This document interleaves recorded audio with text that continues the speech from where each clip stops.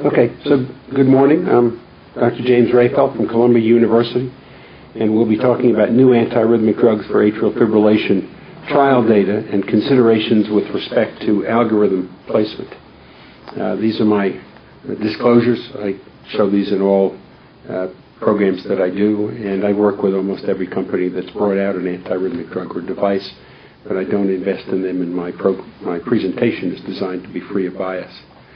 There's been a resurgence of interest in antiarrhythmic drug development during the current decade, with a particular focus on the treatment of atrial fibrillation. One new agent has reached the marketplace, that is dronedarone, a non-toxic derivative of amiodarone.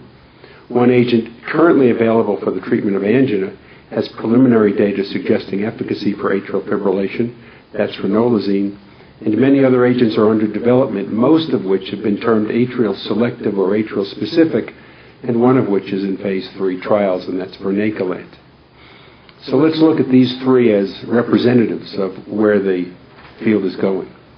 Dronedarone uh, did many trials in its phase two and three clinical development program. They are summarized on this particular slide.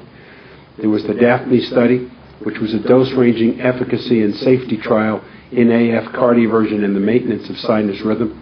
It tested 400, 600, and 800 milligrams twice a day. The results of this trial suggested that only 400 milligrams BID would go into further clinical development, as the higher doses were not well tolerated due to GI toxicity. EURIDIS and Adonis, two identical trials conducted in different regions of the world, whose results were pooled, were dronedarone versus placebo trials looking at the endpoint of time to recurrence of atrial fibrillation. So this was maintenance of sinus rhythm in patients with non-permanent atrial fibrillation. Erato was a trial in permanent AFib looking at how much rate control, that is, reduction in ventricular rate, would occur with dronedarone. Dionysus was a short trial comparing head-to-head amiodarone and dronedarone, looking at the reduction of recurrent AF or premature study drug discontinuation for intolerance or lack of efficacy. Athena was a trial in AF patients who had high risk markers for events, and the primary endpoint was reduction of the combination of cardiovascular hospitalization or death from any cause in this high risk AFib population.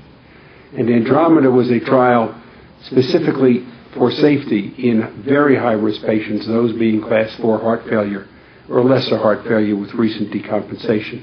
This was not specifically an AFib trial. The results of these trials are on this next slide. As you can see, the DAFNE trial revealed that only 400 milligrams BID should be tested in future trials. The EURIDIS and Adonis experience revealed dronedarone to be superior to placebo in prolonging the time to the first recurrence of atrial fib or atrial flutter. Both EURIDIS and Adonis and Erato reveal that dronedarone does reduce the ventricular rate both at rest and with exercise, usually about 10 to 15 beats per minute. Dionysus showed that amiodarone was superior to dronedarone in terms of efficacy, but that it was less well tolerated and stopped more often for intolerance and toxicity. Athena revealed that dronedarone reduced cardiovascular hospitalization, including the components of hospitalization due to atrial fibrillation as well as acute coronary syndrome, with a trend towards reduced total mortality in the high-risk AFib patients. And Andromeda, the thorn in the side of this development program, if you will, revealed that dronedarone increased hospitalization for heart failure and mortality in a severe heart failure population, and it was stopped prematurely. Consequently, in this country, dronedarone, the brand name Multaq, received approval to reduce the risk of cardiovascular hospitalization in patients with paroxysmal or persistent atrial fib or flutter, with a recent episode meeting non-persistent fib, and one or more of the associated cardiovascular risk factors that were inclusion criteria in the Athena trial. It did not receive an indication to reduce mortality because that was only a trend in Athena. The contraindication in this country, as well as around the world, is class 4 heart failure or lesser heart failure with recent decompensation, and that's based on the Andromeda study. Note, this indication is not simply for the reduction of atrial fibrillation. Um, That approval was attained in Europe, where the drug is approved for the reduction of atrial fib and to slow the ventricular rate response. But the indication in this country is more specific. So here is the wording of the European uh, indication. Where should we use dronedarone based upon this particular indication? Well, if we think about the 2006 ACC/AHA ESC guidelines, and we remember their drug disposition is divided by no heart disease, hypertension, coronary disease, heart failure, and we combine dronedarone's experience as well as its indication, you can see that in no or minimal heart disease, dronedarone would appear to be a reasonable first-line choice in those patients who meet its inclusion criteria from Athena and its indication criteria, who do not have heart disease, meaning age over 70, diabetes, prior stroke, or large left atrium. In the hypertensive population, then the additional risk factors in the package insert, that is the approval package, would suggest that either hypertension or a reduced ejection fraction would be reasonable criteria to suggest this drug should be used first line. And that holds true in coronary disease and heart failure as well. Remembering that in the heart failure population, it's contraindicated with class 4 heart failure or recent decompensation.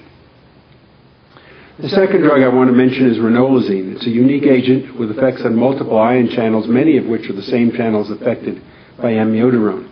It's approved for the treatment of angina, and importantly, it has not been associated with any organ toxicity or with proarrhythmia. It has as its most frequent side effects constipation and some vague dizziness, but no serious organ toxicity. It is electrophysiologically active. Ranolazine is an inactivated state sodium channel blocker, that is the late sodium channel. It has little effect on peak sodium in ventricular myocardium, but has a functionally significant effect in atrial myocardium.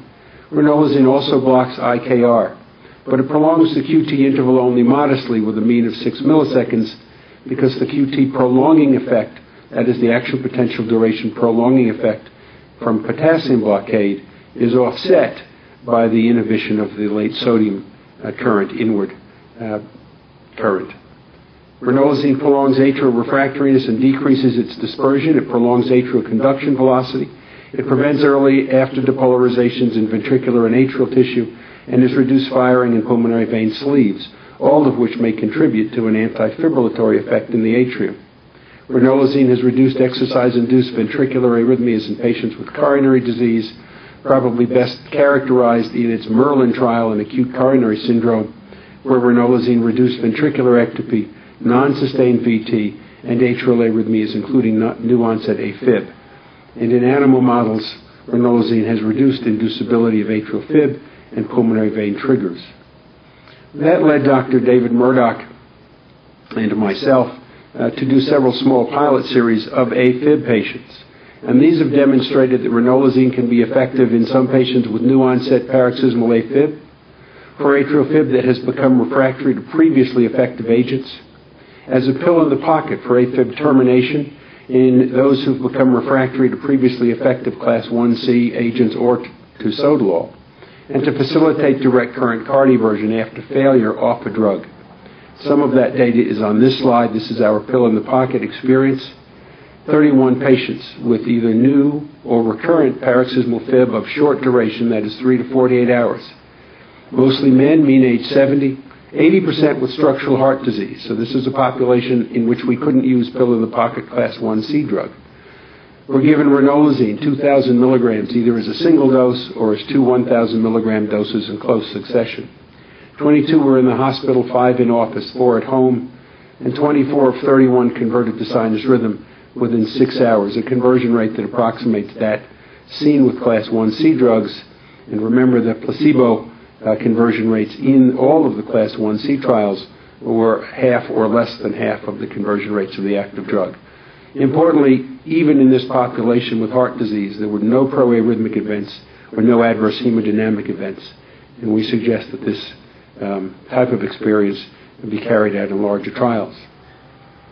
In patients with prior antiarrhythmic therapy, we studied 13 patients who had very frequent PAF that was successfully controlled for at least two years with either a class 1 drug, flecainide or propafenone, or in a few with a class 3 drug, uh, essentially sotalol.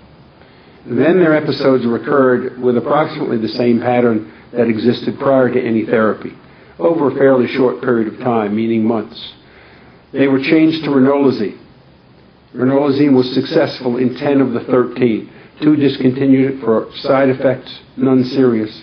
In one, it did not work. And of the 10 successfully controlled, eight have remained on the drug with good tolerance.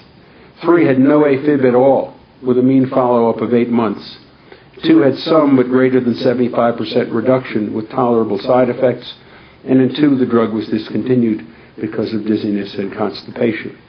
So here again, we have data that suggests that ranolazine can be effective in at least some AFib patients and is deserving of larger trials. One additional experience of note was a 58 year old woman who gave a history of symptomatic persistent AFib for about three years. She was managed medically with AV nodal agents, but AFib recurred after each of three separate cardioversion attempts.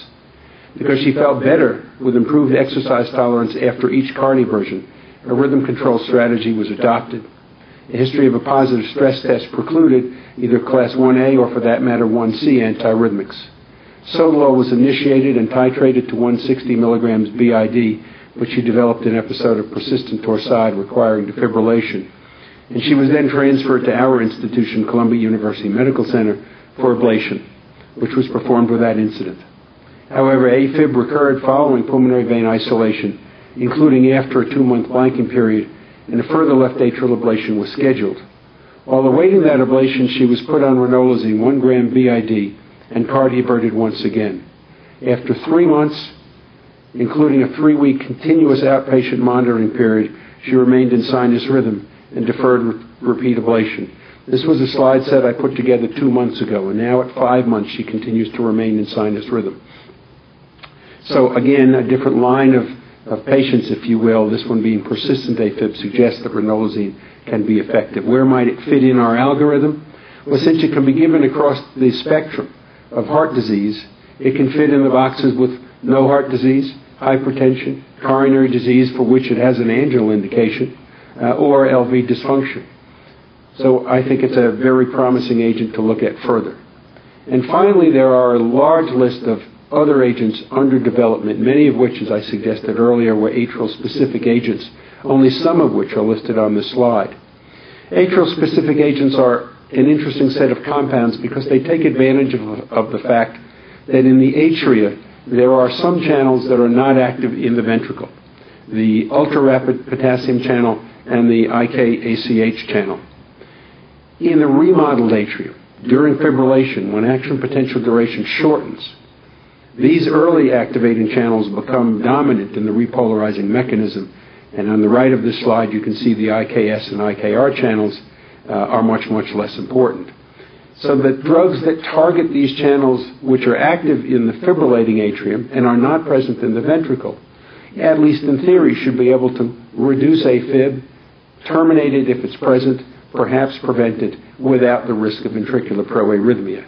And the furthest along is vernakalant, originally called RSD 1235 with a proposed trade name of Kynapid, although it is not yet approved. It's in, it is in class 3, it is in phase 3 trials. It is a frequency and voltage dependent sodium channel blocker. It also blocks early activating potassium channels, particularly the IKACH channel. It has rate enhanced activity on conduction, so it's more potently effective during fibrillation. It has atrial selective effects on APD and ERP prolongation. The activity has been confirmed in several species. It has very rare adverse hemodynamic effects intravenously and is being developed both IV for conversion and oral for the prevention of AFib. Its IV studies to date have included several important trials. Two of them, Act 1 and Act 3, were virtually identical. Double blind, placebo controlled phase 3 trials, Act 1 being um, somewhat larger than Act 3. Act 2 was a post op AFib study, again, randomized, placebo controlled, double blind. And the results were similar in each of these. There was conversion of recent onset AFib, that is less than seven days, in 52% of the drug treated patients, but only 4% of placebo treated patients with a median time of 8 to 11 minutes. If the patients had longer lasting AFib, that is 3 to 45 days, the conversion rates were 38 to 41 percent um, versus 3 to 4 percent with placebo. Interestingly, the drug does not work for atrial flutter, perhaps because its effects are more marked in the left atrium than the right. Potentially serious adverse events were 1.4 to 2 percent in these trials versus 0 to 1 percent uh, in the placebo-treated patients with no torsade. So you can see it appears to be a pretty safe drug. And on the right of the slide, you can see from the largest of the trials, the ACT-1 study, in white placebo and in magenta vernakalant, you can see the short and long duration AF conversion rates compared to placebo, and in the far right, the overall population. The most common adverse events have been dysgeusia, sneezing, and paresthesias. There have been very rare significant adverse hemodynamic effects, bradycardia and hypotension, both less than 1%, perhaps vagally mediated. The trials did exclude severe heart failure and acute MI, and I suspect that any package insert that's developed will likely exclude symptomatic ischemia or a history of heart failure or hypotension. There were two ventricular fibrillations, one a death in a severe aortic stenosis patient who was a protocol violator and should not have received this drug, suggesting a, risk rate of about 1.4 per thousand patients in individuals with prior risk factors. And there's one torsade in the database in which the drug was given subsequent to ibutilide, which was also a protocol violation. And ibutilide, as you know, has a significant incidence of torsade. The FDA requested an additional trial to be performed. It's anticipated that this will be completed sometime in 2011 or early 2012, and oral studies are also underway. Now, not all of the investigational agents have been successful. Piboserod, a HT4 receptor antagonist, azimilide, tedisamil have gone by the wayside. But as you can see from the, this list, there are many, many more, both atrial selective, derivatives of amiodarone, gap junction modifiers, um, so stay tuned. This is a growing list and an exciting field. Thank you for your attention.